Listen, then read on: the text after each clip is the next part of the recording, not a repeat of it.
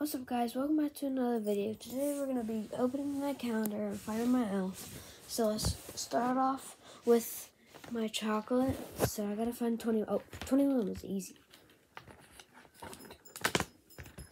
Okay. Oh, it's Santa's sleigh. Or, yeah. I gotta put it in the bag.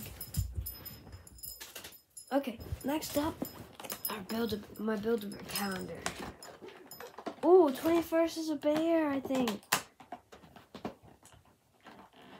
Oh my gosh. Oh my gosh, this is so adorable. Holy. What'd you get? I like that one. He's so cute. Do you see it, Nico? This is my dog. Nico. Yeah, he's kind of distracted. But this is the bear we got today. And, and, and on Saturday, uh, I get a new bear. So let's go find my elf. Huh. So my elf moved. He might not be here because I'm going home today.